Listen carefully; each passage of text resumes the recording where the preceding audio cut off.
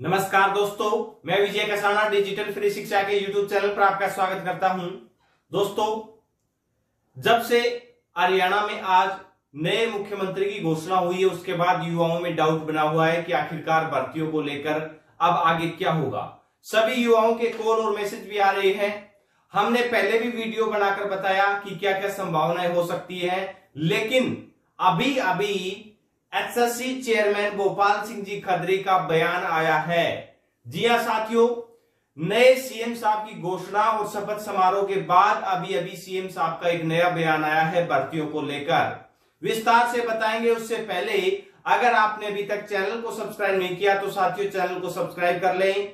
हरियाणा की भर्तियों से रिलेटेड पल पल की अपडेट हम लगातार आप तक पहुंचाते रहते हैं। जो भी नया अपडेट होता है साथियों, सबसे पहले विश्वास के साथ आप तक पहुँचाया जाता है। अब आपको बताते हैं कि क्या नया बयान एसएससी चेयरमैन गोपाल सिंह जी खत्री के द्वारा दिया गया है। तो साथियों, जब उनसे पूछा गया कि क्या कोई भर्तियाँ कैंसिल होने वाली हैं, तब उन्होंने कहा कि कोई भी भर्ती कैंसिल नहीं होगी और क्या नई भर्तियों के ऊपर फ़र्क पड़ सकता है?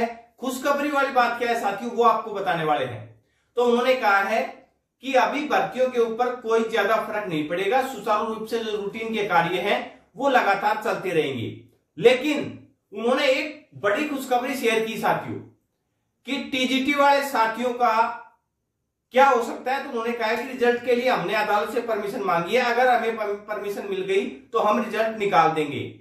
और उन्होंने ये तक कहा साथियों, की संभावना है कि 19 तारीख को केस का सॉल्यूशन ही हो जाए।